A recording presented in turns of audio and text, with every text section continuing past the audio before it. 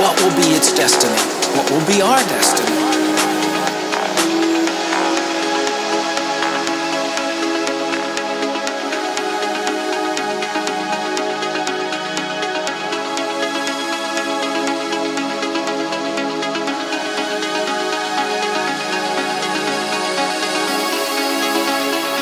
What lies beyond Pluto? And what can we learn about ourselves in the origins of our solar system?